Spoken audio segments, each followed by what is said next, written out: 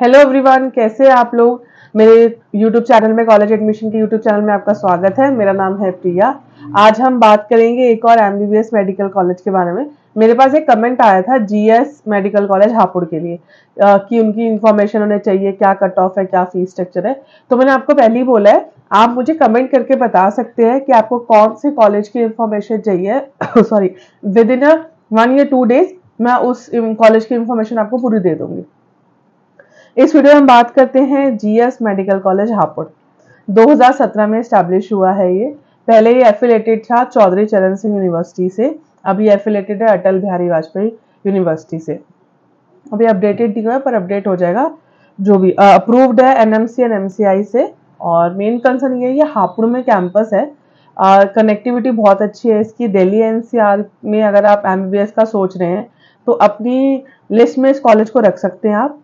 और चाहे वो पेशेंट फ्लो हो गया, चाहे हॉस्पिटल हो गया इंफ्रास्ट्रक्चर हो गया फैसिलिटी से रिलेटेड हो गया, सारी चीज़ें इनकी ओके है गुड है, कोई प्रॉब्लम नहीं है। बच्चों से बात हुई है, सारे रिव्यूज़ के बाद ही मैं आपको चीज़ें बता रही हूँ। काउंसलिंग कंडक्ट होती है यूपी की। यूपी की काउंसलिंग के बेसिस पे यहाँ पे एडमिशन मिलता है। कैंपस एरिया 20 एकर्स में कैंपस बना हुआ है। और मेन कंसर्न ये है कि क्या क्या चीज़ें आपको फेस करनी पड़ सकती है एडमिशन के टाइम क्या क्या वो सब मैं आपको डिस्कस करती हूँ। देखिए कैंपस में, देखिए मैं आपको पहले ही बताया, जो प्राइवेट कॉलेज होते हैं, उनके कैंपस में सारी फैसिलिटीज़ होती है। ब्लड बैंक से रिलेटेड लाइब्रेरी स्पोर्ट्स एरिया से जिम हो गया आपका hospital facility hostel facilities cafeteria सारी सारी फैसिलिटीज़ है वहाँ। और एक चीज़ आपको और बता दूँ, अगर आपको कोई भी डाउट है, कोई भी प्रॉब्लम है, अगर आपको एडमिशन लेना है कोई भी कॉलेजेस में चाहे आपका लो स्कोर है, चाहे आपके आपको प्रॉब्लम हो रही है काउंसलिंग आपको नहीं कर पा रहे आप नहीं समझ में आ रही तो आप हमसे हमारी पेड सर्विसेज़ भी आप हमसे भी काउंसलिंग करवा सकते हैं। और अगर आपको एनआरआई मैनेजमेंट में एडमिशन लेना तो उसके लिए आप हमें कॉन्टैक्ट कर सकते हैं। और अगर आप, आपको वैसे भी कोई हेल्प चाहिए तो मैं वैसे भी बता देती हूँ बच्चों को पता है आप मुझसे पूछ सकते हैं मेरा नंबर ही स्क्रीन पे चल रहा है। और दूसरी चीज़ गूगल फॉर्म भी मैंने अटैच करा हुआ डिस्क्रिप्शन एरिया में जो लोग मुझे कॉल नहीं कर पाएँगे व्हाट्सअप नहीं कर पाएँगे वो मुझे गूगल फॉर्म के थ्रू क्वेरी कर सकते हैं। मेरी टीम आपको कांटेक्ट कर लेगी। एक चीज़ और एमबीबीएस की इनटेक इनके पास 150 है। अभी जो इनके पास इनटेक है, और मैंने आपको बताया, दिल्ली एनसीआर के पास ये ऑप्शन रख सकते हैं। जीएस हापुड़ है, रामा है, ये सब ऑप्शन आप रख सकते हैं। अब बात कर रहे हैं हम इसके फ़ीस स्ट्रक्चर की, मैं आपको इसका फ़ीस स्ट्रक्चर बता देती हूँ और कितने बेडेड का ये हॉस्पिटल है।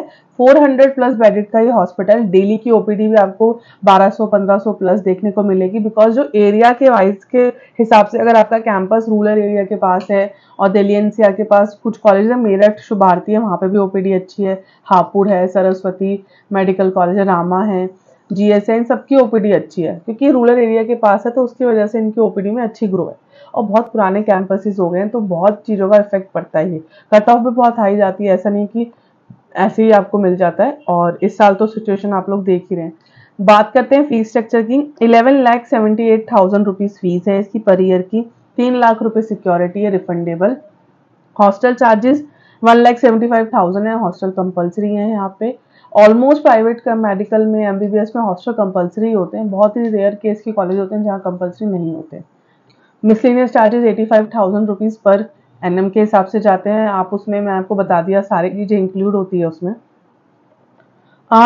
मेन चीज़ ये कि अभी हम इसकी बात करते हैं कट ऑफ़ की कि 2023 की क्या कट ऑफ़ थी और 2024 में क्या कट ऑफ़ रहने वाली है, जिससे आपको अभी 2024 में काउंसलिंग स्टार्ट होने वाली तो कोई प्रॉब्लम ना हो। आप खुद अगर आप खुद भी काउंसलिंग करना चाहते हो तो आप लोग कर सकते हैं। और बिकॉज़ अगर आप लोग खुद काउंसलिंग करते हैं तो और किसी एक्सपर्ट से कराते हैं तो उसमें डिफरेंस ज़रूर आता है। बिकॉज़ अगर आपने कुछ भी गलत कर दिया, कुछ भी ऊपर नीचे हो गया तो आपके जो दो लाख रुपए आप सिक्योरिटी देते हो गवर्नमेंट को, वो कोलैप्स हो सकती है।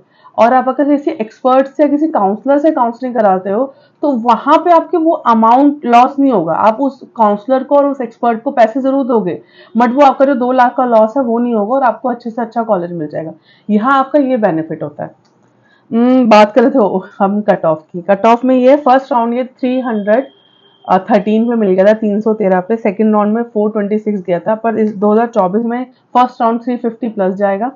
और second round four fifty plus तो आप देख लीजिए, अगर आपका स्कोर इसके आसपास है तो आप ऑप्शन रख सकते हैं।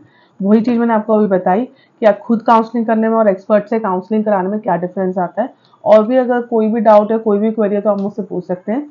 और हमेशा से मैं कहती हूँ, जो मेरे सब्सक्राइबर्स हैं थैंक यू सो मच और जो मेरे सब्सक्राइबर्स नहीं हैं लेटेस्ट अपडेट्स के लिए मेरे चैनल को सब्सक्राइब कर लीजिए।